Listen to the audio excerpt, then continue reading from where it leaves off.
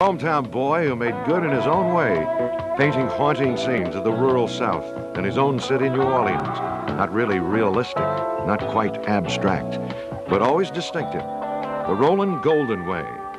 He's the only American artist to be exhibited in a one-man tour of the Soviet Union in history. Rolland Golden, our guest tonight on First Person.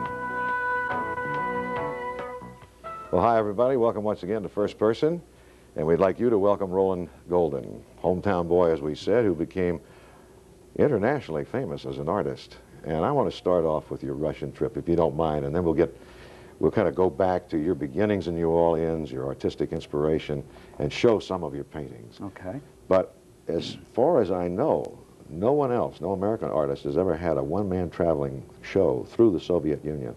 Well, that's what I was told at the time. There have been a, a numerous other Americans who've had one-man shows, but this show toured, uh, which made a difference between it and the others. And I don't know if there's been one since then, but Uh-huh. uh, I can only go by what they say. I was the first. Where did it tour? Moscow? Uh, it opened in Moscow in November of 1976, and it was there for, open there for two weeks at the uh, Friendship Palace. Then it went to uh, Leningrad later and was open there at their Friendship Palace for two weeks, then on to Kiev and then Odessa. And it was seen during the course of that time by over 100,000 people, which was nice. How many paintings? 51 paintings uh, covering about 20 years of my career. It was sort of a, you know, a mini respect, re retrospect. Uh-huh. And uh, response to the show was excellent. Well, as we go along, we'll show a few of the paintings that were in the exhibit to give them an idea of what the Russians saw. But there was some uh, misgiving, I think, on the part of uh, a number of people that your paintings might show a kind of decadent, rundown That's true. United States, and it was unpatriotic. Yes, I, I received some criticism uh, about that. Uh, in fact, even several, just a couple of years ago, people, some people were still talking to me about it. They wanted me to paint grain elevators and uh, corporate buildings, and uh, they would have had to pick another artist if they wanted somebody that did that to show those things. I don't think that, as far as I could tell, there, uh, there was no political axe to grind uh, for the show. Uh, it, they were looking for uh, paintings that would have a meaning to the Russian people. And uh, they wanted to see what life in America was like through the eyes of, a, of an American and not uh, through a corporate uh, head. Right. And this was not sponsored by the U.S. government. No, the U.S. So- government had nothing to do So with it. So therefore, the Soviets could enter into the exhibit feeling, well, that this is not government propaganda. And I assume that uh, there are Soviet citizens who feel that we give out as much propaganda as they do. Well, I'm sure. Um, for all I know, we do.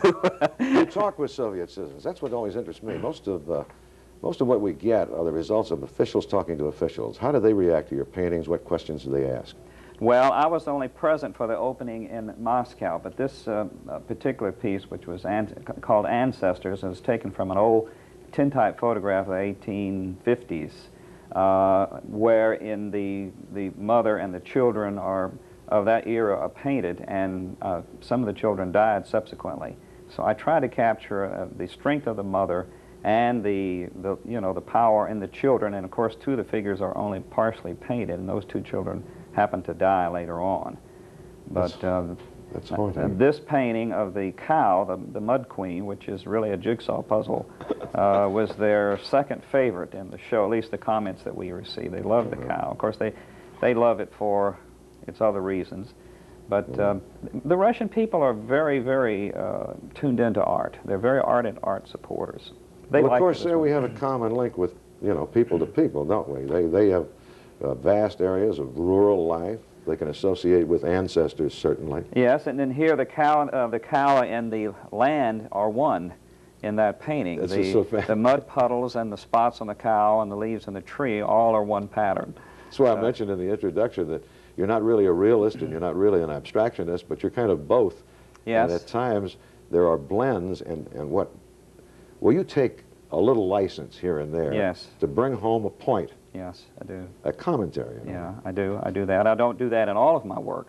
Yeah. Uh, many, uh, I'd say the majority of my paintings are just paintings of landscapes or subjects or something like that. I do, try, however, try to impose my own view of those particular objects uh, in my work. I try to make them uh, such that people realize that an, an intelligence has been at work and developing that composition that I just didn't wander around and find something nice and paint it.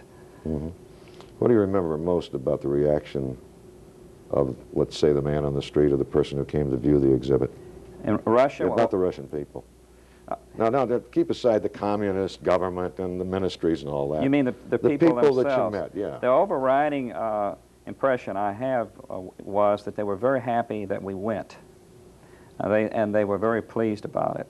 Yeah. And uh, uh, at the opening in Moscow, uh, which was attended by about four or five hundred people, and the um, even had a few people from the American embassy show up. I had to give up and get up and give a little speech, which was death to me to have to do. Uh, but I ended up by saying that they say a, a painting is worth a thousand words. Well, hopefully these pa 51 paintings will be worth 50,000 words for better understanding between our peoples. Well, perhaps that's very naive, but uh, at least I had an opportunity to do something. You know, doesn't mean I don't, don't love my country. I do, and I get mad at the Russians just like everybody else. But Yeah. I think we have to keep talking to each other. Yeah. And they, the people themselves were, were uh, very enthused. And we had some people that came back because we were there for the opening, and then we went back in two or three times later on, and just to see if anyone was there, if there would be an opportunity to talk to them. And fortunately, I had an interpreter, but most, most of the Russians we met spoke English. Well, painting is, is kind of a Berlitz type thing, isn't it? It transcends languages. Yes, it does. You don't need a caption on ancestors. You don't need one on the cow. no, That cow could be in the Ukraine right that's now. That's right. It could be. Maybe being slowly they. poisoned, but in the Ukraine. That's true. Uh, I think that's why it's so important to maintain the continuing flow of art forms and culture between the United States and Russia. That um, because it is a common ground, a common message, and, and even if there's uh, a particular art form neither side uh, totally understands, and then it's a way of understanding, it's a way of learning a little bit more about the people. I don't want to get into this at any great length, but an attempt was made, some serious attempts to have your one-man historic show exhibited at our own Mm-hmm. New Orleans museum, and it was turned down. Why did that happen? Uh, I really have no idea why it was. This was an down. international touring exhibit. As you said, it's historic, stands alone almost, and it had a great deal of success. Um, yes, I was. Uh, I was frankly upset at the time that. Uh, I, I, I, I will say, in all honesty, that the Contemporary Art Center offered to, offered me to show it there. Yeah. But at the time, it looked like uh, there was something developing in Washington, and it would be shown there, and, and it would be a confliction of dates. Well, now, the, the United States government was not too happy about this, or at least, let's say, you were damned by neglect. Uh, well, I don't know about the entire United States government, but the, certainly the embassy people in I'm- all right. Moscow were very, very uncooperative, Which uh, is the United resentful. States government Yeah, that's true. Russia. They were very resentful. In fact, um, Do you have any idea why they were resentful? I, the only thing I can assume is because they didn't have anything to do with it. Okay. But uh, you know, for instance, the the American But wait a minute now. They were also, they were pushing a lot of this, uh, uh, oh, what? Abstract, really abstract, cubistic uh, art, non-representational in the extremis. Yes, they were. They? were pushing a lot of extreme avant-garde art, That- which is what they wanted to bring over. To sum it up, so And the Russians uh, didn't, Didn't want want that, no. And they they liked what I did. And um, maybe that- you, maybe you've just told us a lot about why we have difficulties so often at high levels. Well, maybe if the people were a little closer in some of these cultural exchanges, it might be better. Like you said, you felt obliged to. to well, I, you know, well, I, I think it's good to send avant-garde art because it is one aspect of what we do, but it's not the only thing that we do in art. Yeah. And after all, it's their country. I mean, if they don't want it, they don't have to take it. We can't impose our will upon them. I had a very, very unpleasant conversation with the uh, Yeah.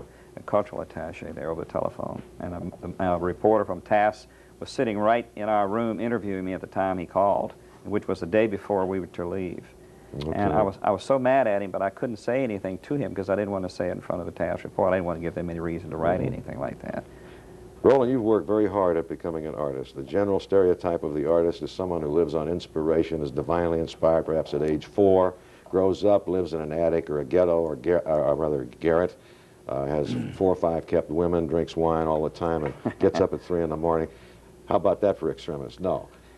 Artists have to discipline their lives, though, pretty strictly. And I know your wife works very closely Yes, with does. you in the Yes. management And uh, Thank God she handles all of the business The and business affairs. Yeah, and and and um, keeps me free from having to fool with that. but what kind of a day or night or what kind of a routine do you? uh, Well, I have a, you know, a routine. Uh, I, I start I start late. I quit late. You know, and sometimes I go back up and work again. Uh, so, and every artist has to find their own routine, what sh- what fits their own personality. I just wrote some uh, an article on this for a magazine, and, um, and the article is around motivation. And every artist I know that is successful, and I know a few, has a routine that they follow. It, it may not be a, a nine to five routine. It may not be an everyday routine. Maybe an every other week, every other month. But they do have a routine, and they stick to it, and they work hard. Art, art is very hard work. People don't realize it. The majority of the people.